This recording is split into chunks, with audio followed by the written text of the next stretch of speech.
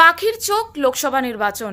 পুরুলিয়ার সংখ্যালঘু ভোট ব্যাংকে অটুট রাখতে বুধবার পুরুলিয়া জেলা তৃণমূল সংখ্যালঘু সেলের পক্ষ থেকে একটি কর্মী সভা অনুষ্ঠিত হয়।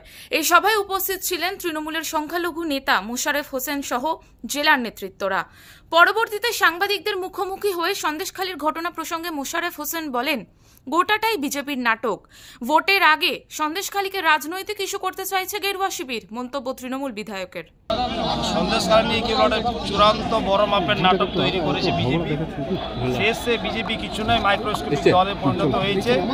লোকসভায় ব্যর্থ হবে। অস্তিত্বহীন বিজেপি এখন খড়কুটো নিয়ে বাঁচার চেষ্টা করছে সন্দেশখালিতে। সন্দেশখালিতে কিছু না সব সাজানো নাটক। বিজেপি অবৈধ টাকার উপর বস্তার উপর শুয়ে আছে সেই টাকা পাঠিয়ে কিছু লোককে দিয়ে সব নাটক তৈরি করছে কিছু নেই। সন্দেশখালী খুব ভালো আছে। একেবারে ভিত্তিহীন। এগুলো সব সাজানো নাটক বললাম কেউ যদি অন্যায় করে থাকে দলের পার্টিকুলারই প্রমাণ হলো নিশ্চয়ই দেখা হবে। কিন্তু এতদিন পরে আর আন্দোলন থেকে এইভাবে বিজেপি করা হচ্ছে এখন নাবালকও জানে এইসব সাজানো। উল্লেখ্য, শুধু মোশারেফ হোসেন নন, এর আগেও তৃণমূলের একাধিক নেতাদের মুখে এই একই কথা শোনা গেছে। তৃণমূল মুখপাত্র কুণাল ঘোষের মতেও সন্দেশখালীর ঘটনা সাজানো।